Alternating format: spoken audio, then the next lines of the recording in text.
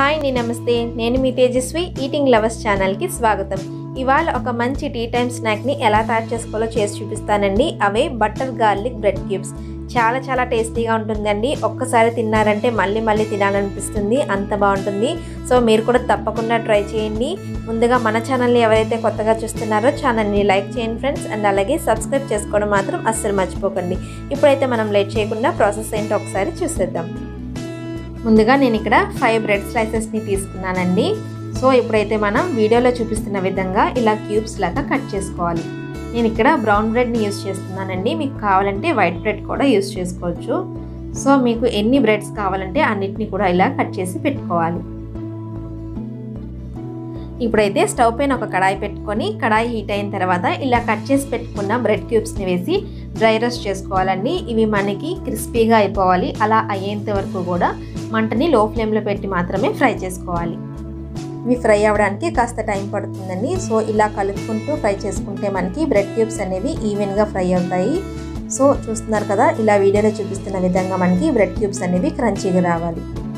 ఇప్పుడైతే మనం వీటిని ఒక కన్నాల జల్లీలోకి తీసుకుని ఒకసారి జల్లించుకోవాలండి. ఎందుకంటే ఫ్రై చేసుకునేటప్పుడు కొంచెం బ్రెడ్ పౌడర్ అనేది వస్తుంది. సో ఇలా జల్లించుకోవడం వల్ల బ్రెడ్ క్యూబ్స్ అనేవి మనకి నీట్గా వచ్చేస్తాయి. ఇవి టీ టైమ్ స్నాక్గా చాలా బాగుంటుందండి. అంతే కదండి పాలతో కూడా సర్వ్ చేసుకున్నా కూడా చాలా బాగుంటుంది. సో ఇప్పుడైతే మనం అదే కడాయి తీసుకొని అందులో మూడు టేబుల్ స్పూన్ల వరకు బటర్ని యాడ్ చేసుకోవాలి. తర్వాత సన్నగా తురుము పెట్టుకున్న ఒక టీ స్పూన్ వరకు వెల్లుల్లిని వేసుకోవాలి.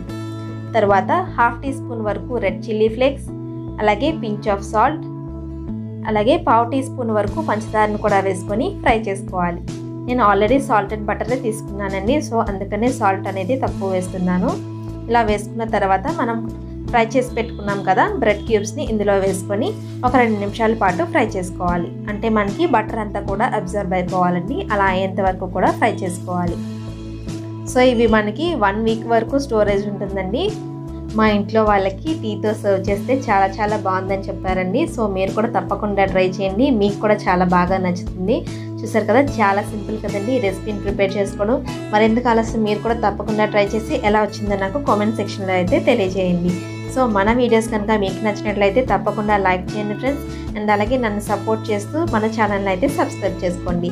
పక్కన ఉన్న బెల్ బటన్ కూడా క్లిక్ చేస్తే ఆల్ అనే ఆప్షన్ వస్తుందని దాన్ని కూడా క్లిక్ చేస్తే నేను పెట్టే ప్రతి వీడియోస్ కూడా మీరు మిస్ అవ్వకుండా నోటిఫికేషన్ ద్వారా చూసేయచ్చు. Thanks for watching.